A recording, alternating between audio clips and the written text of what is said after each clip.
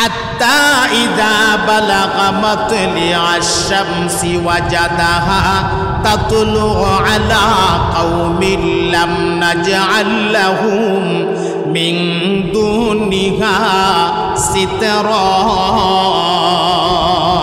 سبحان الله এখন তিনি চলতে চলতে চলতে চলতে আগে গেছিল যেখানে সূর্য অস্ত যা এখানে আর এখন গেছে কই ইজা বালাগা মাতুলিয়া শামস, যেখানে সূর্যটা উদয় হয়, যেখান থেকে সূর্যটা উঠে ঠিক ওই জায়গাতে তিনি পৌঁছে গেলেন। সুবাহান এখানে পৌঁছা তিনি কি দেখলেন? সেখানে গিয়ে তিনি একটা সম্প্রদায় পাইলেন, একটা জাতি পাইলেন পাইলেন এমন একটা জাতি তিনি দেখে সূর্য যে উঠতেছে, যাদের যেই সম্প্রদায়ের মাথার উপর দিয়া, তাদের মাথার উপরে সূর্যের আলো ফিরানোর জন্য কোনো ছাদ নাই। কোনো ছাদ নাই, ডাইরেক্ট সূর্যের আলো তাদের মাথায় লাগতেছে। এর মানে গড় বাড়ি বানানোর পদ্ধতি ওরা জানে না। ঘর বাড়ি বানানোর পদ্ধতি ওরা জানেই না। কেমনে ঘর বানান লাগে, এই পদ্ধতিই জানে না। ডাইরেক্ট সূর্যের আলো তাদের মাথায় লাগতেছে। সেখানে তিনি পৌঁছালেন। এখানে এই জাতির সাথে তিনি কথাবার্তা বললেন, মত বিনিময় করলেন। তাদেরকে সুন্দর ব্যবস্থা যা যা করা লাগে আল্লাহর হুকুমে সুন্দর সুন্দর ব্যবস্থাপনা কইরা দিয়া এখান থেকে তিনি আবার অন্যদিকে চলতে লাগলেন। সাইয়াতি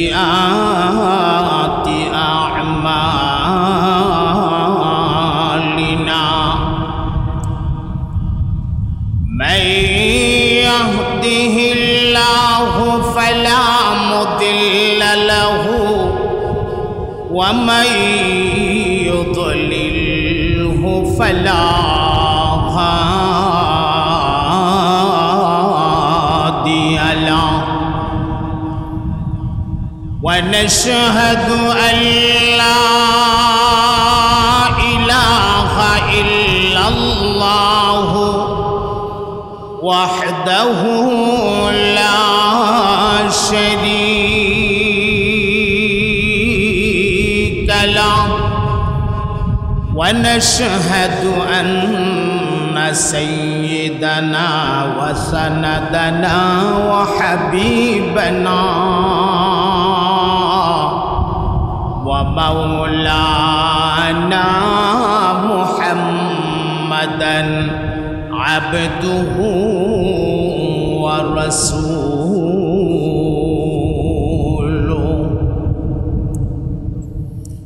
أما بعد فأعوذ بالله من الشيطان الرجيم. بسم الله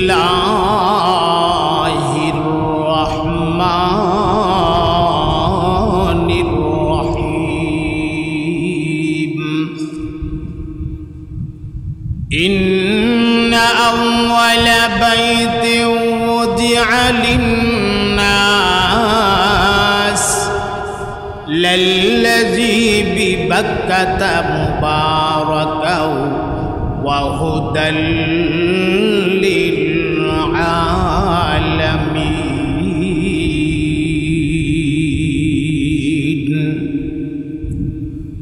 بارك الله لنا ولكم في القرآن العظيم ونفعنا وإياكم بالآيات.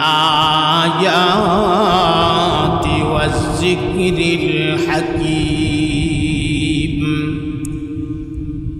اللهم صل على سيدنا ومولانا محمد وعلى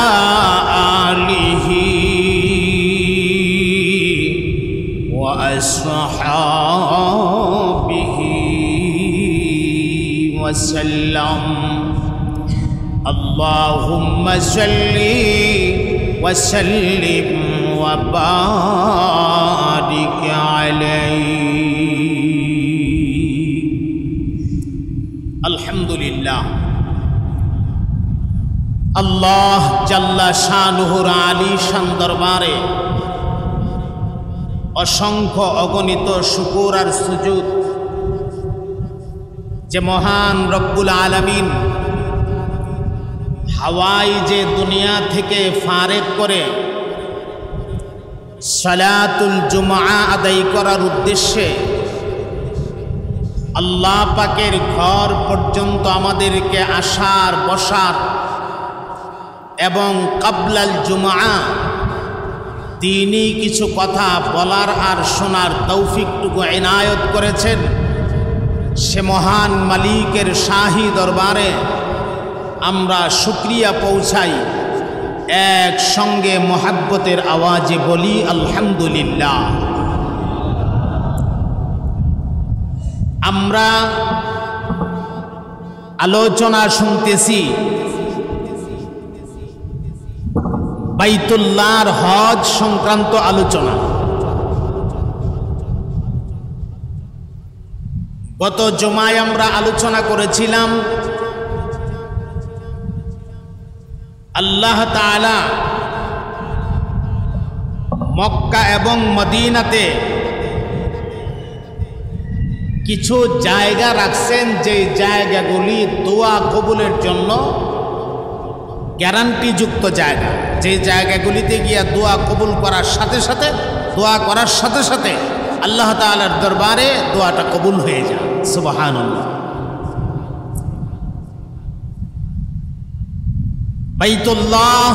আল্লাহ তালার ঘর।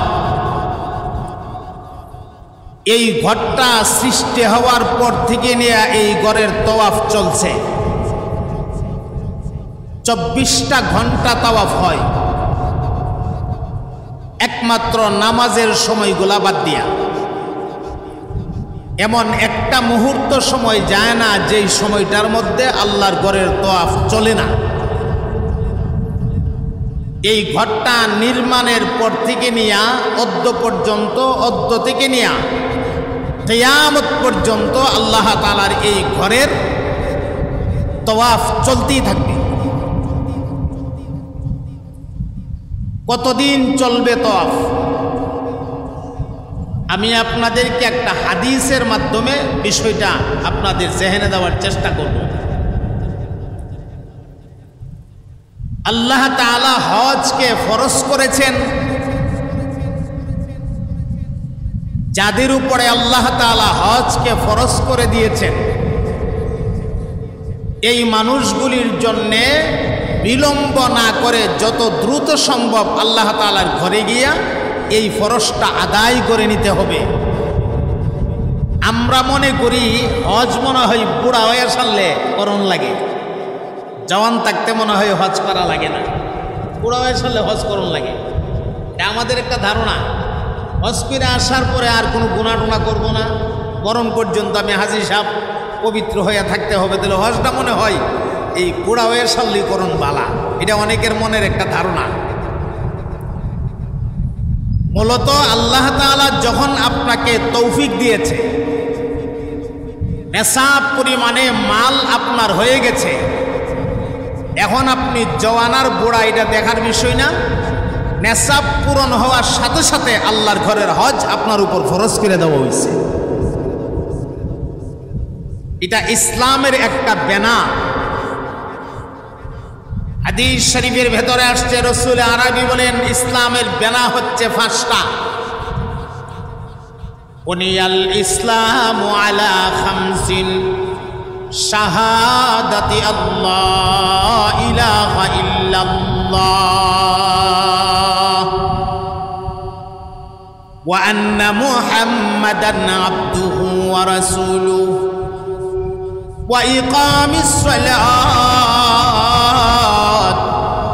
وإيتاء الزكاة والحج وصوم رمضان ইসলামের পাঁচটা বেনা এর মধ্যে চার নাম্বারটাই হচ্ছে আল্লাহ তালার ঘরের হজ করা আল্লাহর ঘরের হজ করা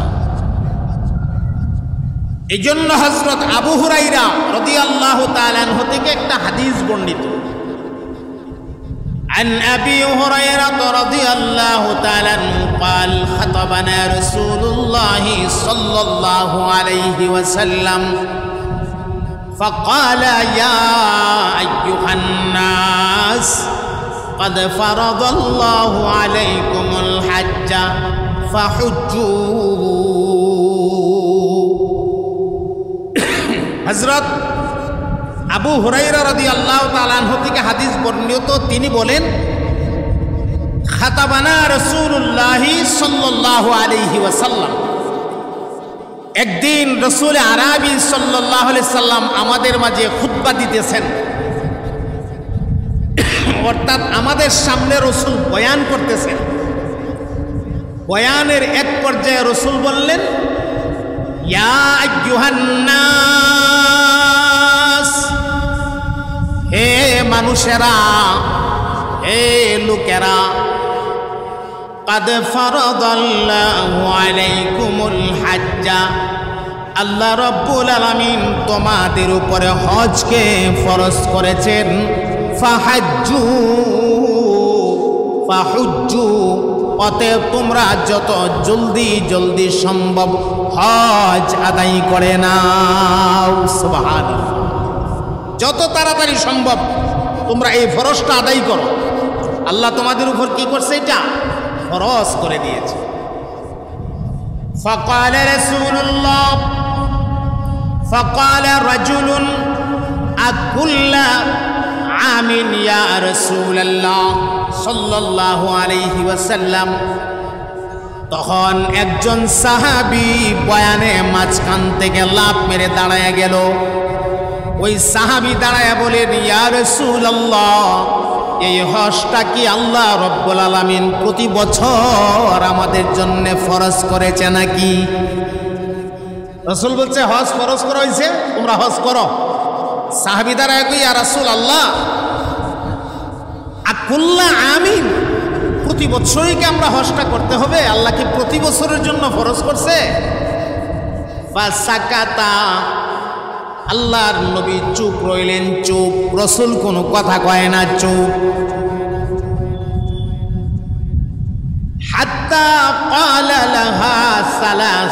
আর এই লোকটা আল্লাহর নবীকে তিনবার কথাটা জিজ্ঞেস করছেন, আমরা কি প্রতি বছরে হজ করব নাকি? রসুল কোনো কথা কয় না, চুপ। আবার জিজ্ঞেস করলেন, ইয়া রসুল আল্লাহ আমরা কি প্রতি বছর হজ করব নাকি? আল্লাহর নবী কোনো কথা বলেন নাই, চুপ। আবার তৃতীয় মর্তবা জিজ্ঞেস করলেন, আমরা কি প্রতি বছর হজ করব নাকি? আল্লাহ নবী তখন জবাব দিলেন, কি জবাব দিলেন?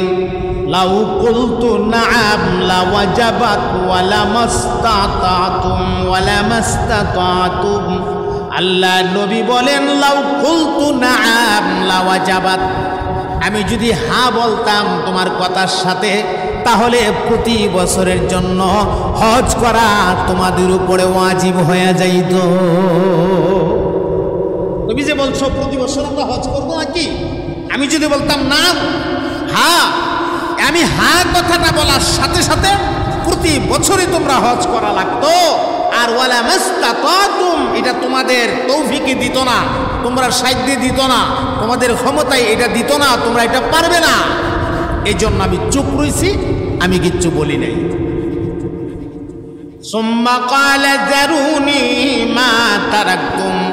এরপরে রসুল বলেন, আমি যতটুকু বলি আমাকে তোমরা এতটুকুর উপরে থাকতে দাও। সাবধান। মান কানা কাবলাকুম বিকাসরাতি সুআলিহিম ওয়াখতিলাফিহিম আলা আম্বিয়াইহিম। আল্লাহ নবী বলেন, তোমাদের আগে পূর্বের অন্যান্য অন্যান্য নবীদের উম্মতেরা কাসরাতে সুআলিহিম তাদের বেশি বেশি প্রশ্ন করার কারণে তারা হালাক হয়ে গেছে, তারা ধ্বংস হয়ে গেছে।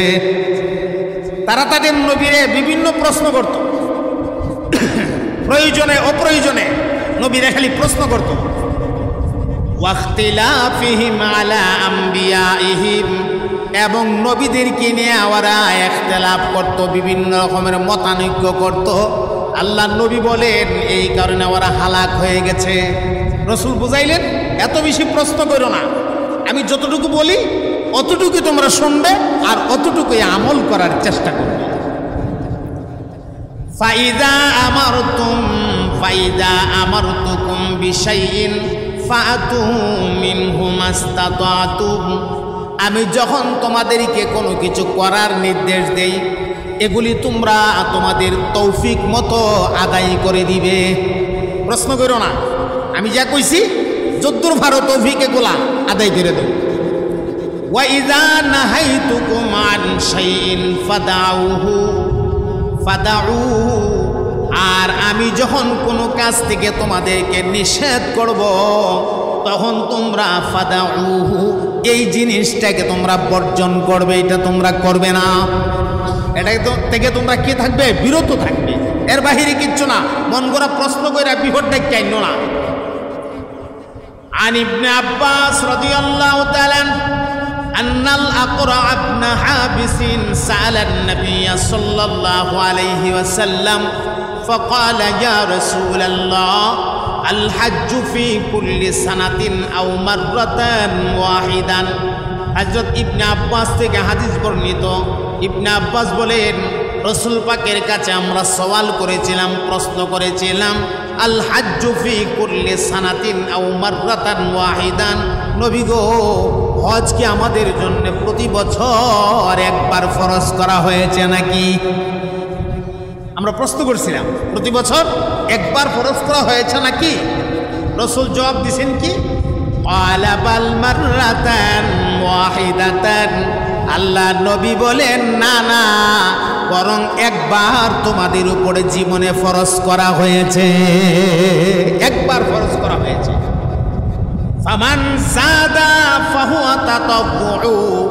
যেই ব্যক্তি বেশতি করল, একবারের বাহিরে গিয়া করল, দুইবার করল, তিনবার করল, চারবার করল, পাঁচবার করল, বছরে বছরে করল। আল্লাহ নবী বলেন, এগুলো তার জন্য নফল হয়ে যাবে। এগুলো তার জন্য কি এবাদত হয়ে যাবে? নফল এবাদত হয়ে যাবে। এখানে একটা কথা আপনাদেরকে বলি। আল্লাহ তাআলা একবার হজকে ফরজ করছেন। অতএব জীবনে একবারই আপনি হজ করবেন। হ্যাঁ যদি তৌফিক থাকে, বারবার যাওয়ার, আল্লাহর ঘরে যাইবেন, যান। কিন্তু সমস্যা কি, আমাদের সমাজে এমন অনেক মানুষ আছে, আপনার ঘরের লাগা ঘর, অথবা আপনার কোনো আক্রাবিন, কোনো মহিব্বিন খাইতে পায় না, কষ্ট করে, খুব কষ্টে তার জিন্দিগি যাপন করতেছে, অথবা বিরাট বড় মাপের ঋণগ্রস্ত হয়ে গেছে, বেকায়দায় পড়ে গেছে। এমন মানুষদেরকে যদি আপনি আপনার এই টাকাটা দিয়া সহযোগিতা করে দেন, আল্লাহ তালা আপনাকে একটা মাকবুল হজের সওয়াব আপনার নামে আমলের ভেতরে আল্লাহ পাক দান করবেন কিন্তু এই দিক আমরা খেয়াল করি না। আমার কথা হলো আল্লাহ আমারে তৌফিক দিছে, আমি বছরে বছরে হজ করব, আমি দশ বার হজ করব, বিশ বার হজ করব। কিন্তু আমার যেই জিনিসটা সবচেয়ে বড় দায়িত্ব, এই দায়িত্বটা কিন্তু আমি পালন করতেছি না। আপনি বারবার যাবেন, আলহামদুলিল্লাহ, ভালো কথা। একবার ফরজ আদায় হয়ে গেছে, এরপরে যতবার যাবেন আপনার এটা নফল হবে। এই নফল এবাদত করার চাইতে আপনার পড়োশিকে সহযোগিতা করা, করলে আপনার সওয়াব আরও বেশি হবে। এটা আমরা খেয়াল রাখব। আর একটা হাদিস শোনেন, বাইতুল্লাহর হসটা কতদিন চলবে? বাইতুল্লাহ সৃষ্টির পর থেকে নিয়ে বাইতুল্লাহর হজ চলছে তওয়াফ চলছে তওয়াফটা চলবে কতদিন যে কথাটা আমি বলছিলাম عن ابي سعيد الخدري رضي الله تعالى عنه عن النبي صلى الله عليه وسلم قال ليحجن البيت وليعتمرن بعد خروج ياجوج وماجوج হজরত আবি সাঈদ খুদ্দি রাদিয়াল্লাহু তাআলা আনহু থেকে হাদিস বর্ণিত, তিনি বলেন, বাইতুল্লাহর হজ এবং উমরা চলতে থাকবে, কতদিন চলবে গো? বাদা খুরুজ, ইয়াজুজ মাজুজ ইয়াজুজ, মাজুজ, বের হওয়ার আগ পর্যন্ত চলতে থাকবে। সুবহানাল্লাহ। এখন আমাদেরকে জানতে হবে, ইয়াজুজ, মাজুজ জিনিসটা কি? এই বিষয়ে যদি আপনাদেরকে আমি কথা বলি, তাহলে সরাসরি ওর কোরআনুল করিম থেকে আপনাদেরকে সংক্ষেপে আপনাদের জেহেনে একটু দিয়া দিই। ইয়াজুজ মাহুজ বের হওয়া পর্যন্ত বাইতুল্লাহর তওয়াব চলবে। তাহলে ইয়াজুজ মাহুজ জিনিসটা কি? একজন বড় মাফের বাদশাহ ছিলেন। খুব সংক্ষেপে বলতেছি, খেয়াল করেন। জমার দিনে বিস্তারিত বলা সম্ভব না। একজন বড় মাফের বাদশাহ ছিলেন জুলকার নাইন বলেন কি নাম জুলকার নাইন সরাসরি কোরআন শরীফ থেকে আপনাদেরকে কথাগুলো শোনাইতেছি يسألونك عن ذي القرنين قل سأتلو عليكم منه ذكرا আল্লাহ নবীজিকে বলেন হে রসুল মুশরিকিনরা আপনার কাছে জুলকারনাইন সম্পর্কে জানতে চান। ওরা আপনাকে প্রশ্ন করেছে জুলকারনাইন সম্পর্কে। জুলকারনাইন সম্পর্কে আমি আল্লাহ আপনাকে বিস্তারিত শোনাইতেছি। আল্লাহ নিজে নবীরে শোনাইতেছেন বিস্তারিত।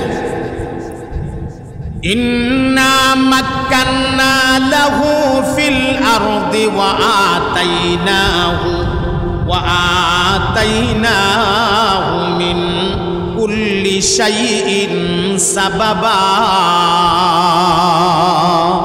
আল্লাহ তাআলা বলেন, নিশ্চয়ই আমি ক্ষমতা দান করেছিলাম জুলকারনাইনকে। যথেষ্ট পরিমাণে ক্ষমতা, এত বিপুল পরিমাণে ক্ষমতা যে পৃথিবীতে এমন কোনো বিষয় নাই যেই বিষয় সম্পর্কে জুলকারনাইন অবগত ছিলেন না বা জুলকারনাইন জানতেন না, বুঝতেন না। এমন কোনো কিছু ছিল না। আমি আল্লাহ জুলকারনাইনকে সব বিষয়ের ক্ষমতা দান করেছিলাম সোহান কোরআন শরীফ বলেন ফাত বা সাবাবা। একদিন জুলকারনাইন একটা পথ ধরে চলতে লাগলেন।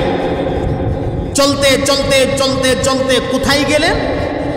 হাত্তা ইদা বালাগা মাগরিবা শামসি ওয়াজাদাহা। تغرب في عين حمئة ووجد عندها قوما. قلنا يا ذا القرنين إما أن تعذب وإما أن تتخذ فيهم হুসনা। মহাব্বতের আওয়াজে বলে দিন সুবাহান চলতে চলতে কই গেছে? ও হাত্তা বালাগা মাগরি বা যেখানে সূর্যটা গিয়া ডুবে, সূর্য যেখানে অস্ত যা ঠিক ওই জায়গাতে জুলকার নাইন পৌঁছে গেছে। সুবাহান কেমনে গেলেন? কীভাবে গেলেন? কোন যানবাহন তিনি ব্যবহার করলেন এইসব নিয়ে যদি আলোচনা করি হজরত সুলাইমান নবীর আলোচনার মতো এটাও একটা ধারাবাহিক আলোচনা, খুব সুন্দর একটা আলোচনা। আমি সব বলতে যাব না আজকে। বলতে গেলে কথা শেষ করা করা যাবে না। আমি ইয়াজুজ মাজুজ আপনাদেরকে বলা উদ্দেশ্য। জাতিটা কি? এই বিষয়টা আপনাদেরকে বলা উদ্দেশ্য। এখন তিনি কই গেলেন? সূর্য অস্ত যাওয়ার জায়গাতে। সেখানে গিয়া তিনি দেখলেন, ওয়াজাদাহা তাগরুবু ফি আইনিন হামিয়া। উনি দেখলেন যে সেখানে সূর্যটা কাদা মিশ্রিত কিছু পানি। কাদা মিশ্রিত পানি, অর্থাৎ ঘোলা। কাদা গুল্লা রাখলে পানির সাথে কাদা গুললে গুললে পানিটা যেমন ঘোলাটে হয়, এমন ঘোলাটে পানি, কাদা মিশ্রিত পানি, আর ওই পানিটার ভেতরে সূর্যটা ডুবে যেতেছে সুবাহান আল্লাহ তালা নিজে বলতেছেন যে, জুলকারাইন সেখানে গিয়া দেখে যে কাদা মিশ্রিত পানির ভেতরে সূর্যটা ডুবা যাইতেছে। ভেতরে ডুইকা যাইতেছে।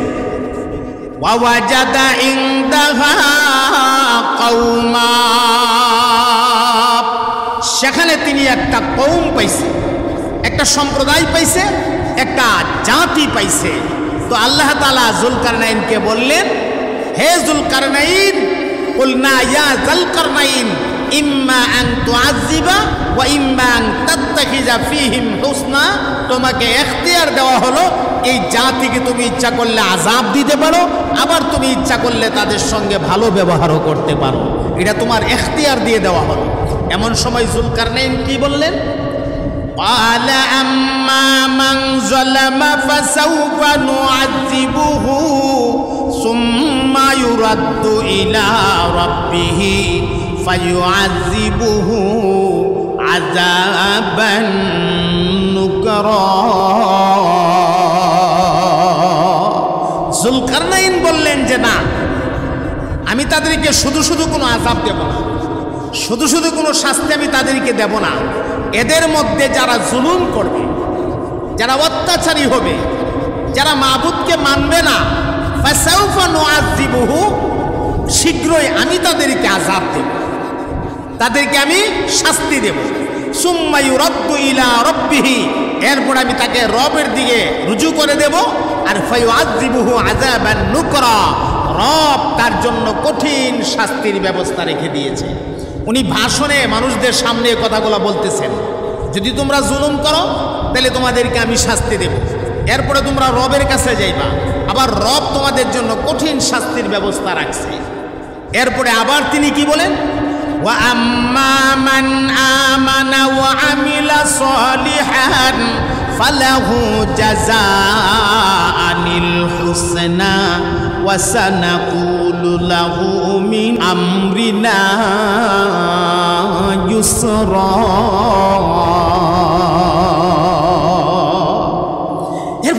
বলেন, তোমাদের মধ্যে যেই ব্যক্তি ওয়াম্মামান আমানা, তোমাদের মধ্যে যে ব্যক্তি ইমান আনায়ন করবে, ও আমিলা সালিহান এবং নেক আমল করবে, ফালাহু জাজা আনিল হুসনা।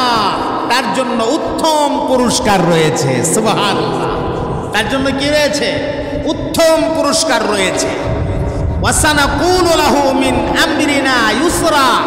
আর এই মানুষগুলোর সাথে আমি খুব নরম ভাষায়, নম্রভাবে, খুব ভদ্রভাবে আমি তাদের সঙ্গে কথা বলব। সুবহানাল্লাহ। এভাবে তাদের সাথে মত বিনিময় করলেন, কথাবার্তা বললেন, তাদের কাছে আল্লাহর ওয়াহাদানিয়তের দাওয়াত দিলেন, যারা দাওয়াতকে গ্রহণ করেছে, তাদেরকে তিনি সুসংবাদ দিলেন, যারা দাওয়াতকে গ্রহণ করে নাই, তাদেরকে তিনি আজাব দিবেন, এটা তো তার বক্তৃতার ভেতরে বইলেই গেছে। তো এখানকার অনুষ্ঠান যখন শেষ হয়ে গেল, সে অনেক কথা, অনুষ্ঠান শেষ হয়ে যাওয়ার পরে উনি কি করলেন? সুম্মা আতবা সাবাবা। আরেকটা পথ ধরে তিনি চলতে লাগলেন। চলতে চলতে চলতে চলতে চলতে চলতে চলতে চলতে এখন তিনি কই গেলেন? সুবাহান হাত্তা ইদা বালাগা মাতলিআ আশ-শামসি ওয়াজাদাহা তাতলু আলা কওমিন লাম নাজআল লাহুম মিন দুনিহা সিতরা। সুবহানাল্লাহ। এখন তিনি চলতে চলতে চলতে চলতে আগে গেছিল যেখানে সূর্য অস্ত যা, এখানে। আর এখন গেছে কই? ইজা বালাগা মাতলিয়া শামস, যেখানে সূর্যটা উদয় হয়। যেখান থেকে সূর্যটা উঠে ঠিক ওই জায়গাতে তিনি পৌঁছে গেলেন। সুবাহান এখানে পৌঁছা তিনি কি দেখলেন? সেখানে গিয়ে তিনি একটা সম্প্রদায় পাইলেন, একটা জাতি পাইলেন। পাইলেন এমন একটা জাতি তিনি দেখে সিতারা। সূর্য যে উঠতেছে, যাদের যেই সম্প্রদায়ের মাথার উপর দিয়া, তাদের মাথার উপরে সূর্যের আলো ফিরানোর জন্য কোনো ছাদ নাই। কোনো ছাদ নাই ডাইরেক্ট সূর্যের আলো তাদের মাথায় লাগতেছে। এর মানে গড় বাড়ি বানানোর পদ্ধতি ওরা জানে না। ঘর বাড়ি বানানোর পদ্ধতি ওরা জানেই না। কেমনে ঘর বানানো লাগে এই পদ্ধতিই জানে না। ডাইরেক্ট সূর্যের আলো তাদের মাথায় লাগতেছে। সেখানে তিনি পৌঁছালেন। এখানে এই জাতির সাথে তিনি কথাবার্তা বললেন, মত বিনিময় করলেন তাদেরকে সুন্দর ব্যবস্থা যা যা করা লাগে আল্লাহর হুকুমে সুন্দর সুন্দর ব্যবস্থাপনা কইরা দিয়া এখান থেকে তিনি আবার অন্যদিকে চলতে লাগলেন। আমি আগেই বলছি যে সব কথা বলা যাবে না হ্যাঁ? সরাসরি ডাইরেক্ট আয়াতের কথাগুলো আপনাদেরকে শোনায়া আমি কথাটা ফিনিশিং দেওয়ার চেষ্টা করব। তিনি চলতে লাগলেন সুবাহান চলতে চলতে চলতে চলতে এখন তিনি কই গেলেন? حتى إذا بلغ بين السدين وجد من دونهما قوما قوما لا يكادون يفقهون قولا. قالوا يا ذا القرنين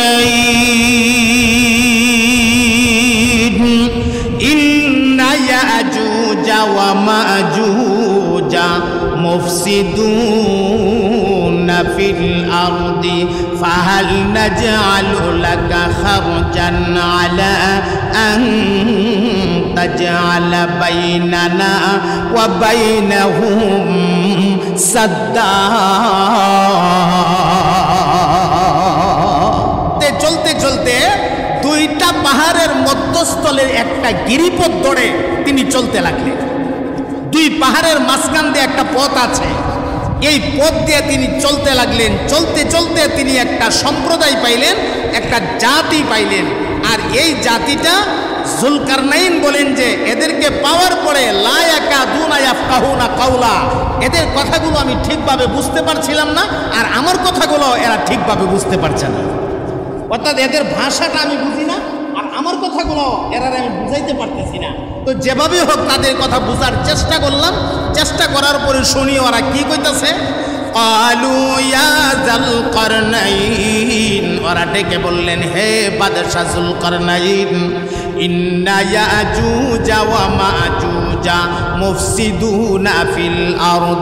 নিশ্চয় এবং খেয়াল করেন যে কথাটা বলার জন্য আমি এত কথা বললাম। নিশ্চয় এবং মাজুজ। এরা মুফসিদুনা ফিল আরদি, জমিনের মধ্যে ফাসাদ সৃষ্টি করে, ফাসাদ। জমিনে কি সৃষ্টি করে? ফাসাদ। ফাসাদটা কি? ওরা আসে এই পাহাড়ের ওই পার থেকে আইসা আমাদের বাচ্চাদেরকে নিয়ে জানিয়া তারা খায়া ফেলা। ইয়াজুজ মাজুজ সম্প্রদায়টা দেখতে কেমন? এটা অনেক লম্বা কথা। এদের লেজ আছে, এদের চেহারার আকৃতির আকৃতিটা কিছুটা মানুষের মতো। আর চলাফেরার সময় এদেরকে বানরের মতো দেখায়। তো এরা আইসা আমাদের বাচ্চাগুলোরে নিয়ে যা, বাচ্চাগুলোরে খাইয়া ফেলে। তো এরা প্রস্তাব করলেন, হে বাদশাহ, আপনাকে আমরা কিছু আর্থিক সহযোগিতা করব। আপনি আমাদের এবং তাদের মাঝখানে একটা দেওয়াল দিয়া দেন। দেওয়াল আন্তাজা আলা বাইনানা ও বাইনাহুম সাদ্দা। এদের অত্যাচার আমরা আর সহ্য করতে পারতেছি না। একটা দেওয়াল আমাদেরকে দিয়া দেন, যেন আমাদের উপরে এরা আর অত্যাচার করতে না পারে। তখন জুলকার নাইন বাদশাহ বললেন, না, তোমরা কি অর্থ দিয়ে আমাকে সহযোগিতা সহযোগিতা করবে? আল্লাহ তালা আমাকে যথেষ্ট পরিমাণে অর্থ দিয়েছে, বরং তোমরা একটা কাজ করো, কাজটা হইল তোমরা তোমাদের শারীরিক শক্তি দিয়া আমার সঙ্গে সময় দাও। তোমরা তোমাদের শারীরিক শক্তি দিয়া আমার সঙ্গে কি দাও? সময় দাও। এখানে অনেক কথা। এরা সময় দিল। উনি লোহা এবং তামা দিয়া একটা বিরাট হ্যাঁ প্রাচীর, একটা বিরাট পাহাড়, পাহাড়ের মাঝখানে একটা বিরাট প্রাচীর তিনি তৈয়ার করে দিলেন, একটা দেওয়াল বানাইয়া দিলেন। এই দেওয়ালটা আজও পর্যন্ত আছে। ইয়াজুজ মাজুজ সম্প্রদায় এরা এটা সারা রাত এইভাবে সারা দিন এইভাবে ওরা এইভাবে নখ দিয়া খামসায়া খামসায়া দেওয়াল কাটে। কাটতে কাটতে এমন একটা পজিশনে আসে যে মনে হয় আর সামান্য কাটলেই এই পারে চলে আসবে। এমন সময় এরা উঠটা কয়, যাক, বাকি কাজটা আগামীকালকে করুন নে। সন্ধ্যা হয়ে যা, এরা ঘুমাইয়া যা। পরদিন ওইটা দেখে যেই জায়গাটা কাটছেন এটা আপনি আপনি আবার ভইরা গেছে। পূরণ হয়ে গেছে। এভাবে কেমন পর্যন্ত মেহনত করতেই থাকবে। এই দেওয়াল টপকাইয়া এই পাশে আসতে পারবে না। হা হা, কেয়ামতের পূর্ব মুহূর্তে আল্লাহ তালা তাদেরকে ছেড়ে দিবেন। ওরা তখন এই দেওয়াল ভাঙ্গে আল্লাহ চূর্ণ বিচূর্ণ করে দিবে। ওরা তখন সারা পৃথিবীতে ছড়াইয়া পড়বে। আর এমন সময় হজরত ঈসা আলহিস সালাতামের শাসনকাল চলতে থাকবে। আল্লাহ যদি তৌফিক দে বাকি কথাগুলি আপনাদেরকে পরে শোনাবো। ইয়াজুজ মাজুজ আমরা হাদিসিকে পাইলাম ইয়াজুজ মাজুজ বের হওয়া পর্যন্ত আল্লাহর ঘর বাইতুল্লাহর তওয়াব চলতে থাকবে সুবাহান আল্লাহ তো ইয়াজুজ মাজুজ সম্প্রদায় সম্প্রদায়কে আমরা আজকে বের করলাম, আগামী জুমা আমরা শুনব ইনশাআল্লাহ। এরপরের কথাগুলা হজরত ইসা আলাহ শাসনটা কেমন ছিল? এরপরে আবার আমরা আমাদের ধারাবাহিক কথাই পৌঁছে যাব ইনশাল্লাহ আল্লাহ যদি তৌফিক দেন, জুমার দিনের সংক্ষিপ্ত সময়ে আসলে সব কথা বলাও যায় না, অনেক কথাই থাইকা যা। তো সব মিলাইয়া যে কথাগুলো আমরা বললাম, শুনলাম, আল্লাহ তালা আমাদেরকে কথাগুলির উপরে আমল করার তৌফিক এনায়ত করেন। সবাই মহাব্বতের সাথে বলেন, আমিন।